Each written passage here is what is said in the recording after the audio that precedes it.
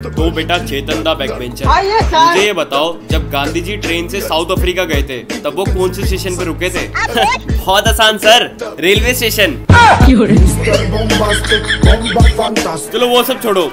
मैंने तुम्हें कविता याद करने के लिए कहा था। कोई कविता याद करके आयो? सुनाओ फिर कि धूप में बाप और चूल्हे पे माँ जलती है तब जाकर एक औलाद पलती है। वाह वाह वाह वाह। घर में एक दाना अन्न का नहीं था, इसलिए मैं पानी पी के सो गई। क्या बात है? मुझको राणा जी माफ़ करना गलती मारे से हो गई।